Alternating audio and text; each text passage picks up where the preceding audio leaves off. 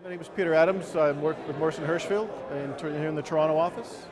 I'm Ted Kesik, and uh, I'm a professor of building science at the Daniel School at the University of Toronto. My name is Keith Robinson. I work for DIALOG, a firm of architects, engineers, interior designers, and urban planners, and I am their chief specifications writer. My name is John Straube, and I'm uh, with the University of Waterloo School of Architecture, Department of Civil Engineering, and also a principal at Building Science Consulting.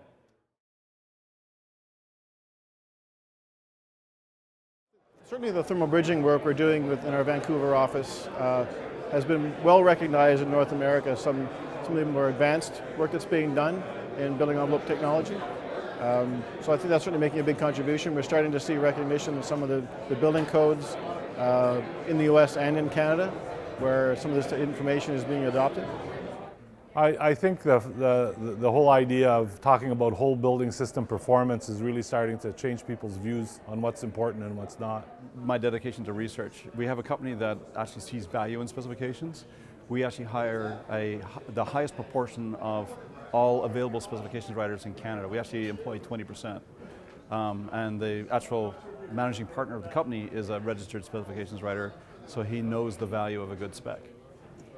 I suppose the most important part of the work is doing presentations, uh, talking to industry, getting students excited that this is a real career option for them. So it's just the communication side, the education side.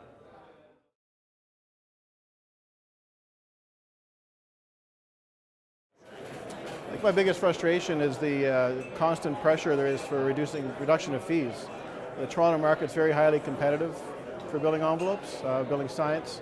Um, and it's, it's often difficult to get the fees that really, I think that people deserve, not just building science, but architects as well. Uh, so there's a huge downward pressure, which is, I find it frustrating. It's hard, to, it's hard to expect greatness out of low-cost materials, low-cost construction, and low-cost design.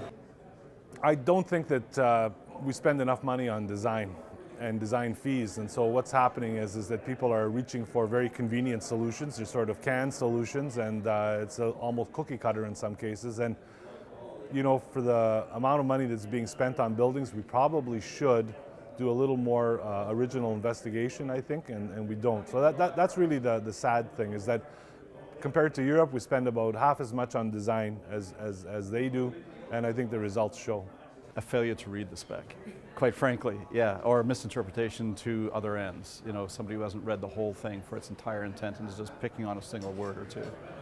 Gosh, uh, you know, there's a fair number of frustrations in the industry, but I, I suppose a, a, lack of idealism, a lack of vision. Uh, it frustrates me is that just to accept what is as opposed to trying harder to do better, to do more, to think of what, what could be, not just what is.